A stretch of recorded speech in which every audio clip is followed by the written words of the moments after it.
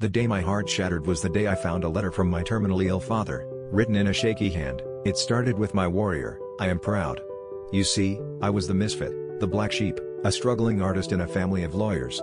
The pressure, the judgment, it broke me. I was on the verge of giving up, ready to trade my paintbrushes for briefcases. But that letter, it changed everything.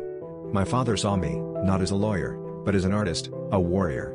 He wrote, In life, don't compromise your dreams for anyone's acceptance.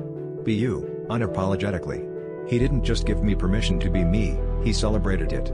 I painted like never before, each stroke filled with love, resilience, and defiance.